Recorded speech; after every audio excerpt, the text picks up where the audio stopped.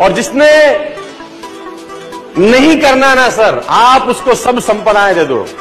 Training दे दो seminar दे दो, गाड़ी दे दो, मकान दे दो मोबाइल दे दो, जिसने नहीं करना, आप उसको सब दे दो, वो फिर भी नहीं करेगा।